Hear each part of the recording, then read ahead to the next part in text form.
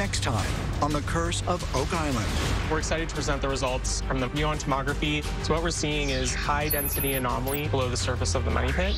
We think it's Aladdin's cave. It could lead to the treasure. I think I've hit a void. The plot thickens. Oh, it's a look at that. This is really something. There are letters stamped on. Whoa! Could be very old. Yeah.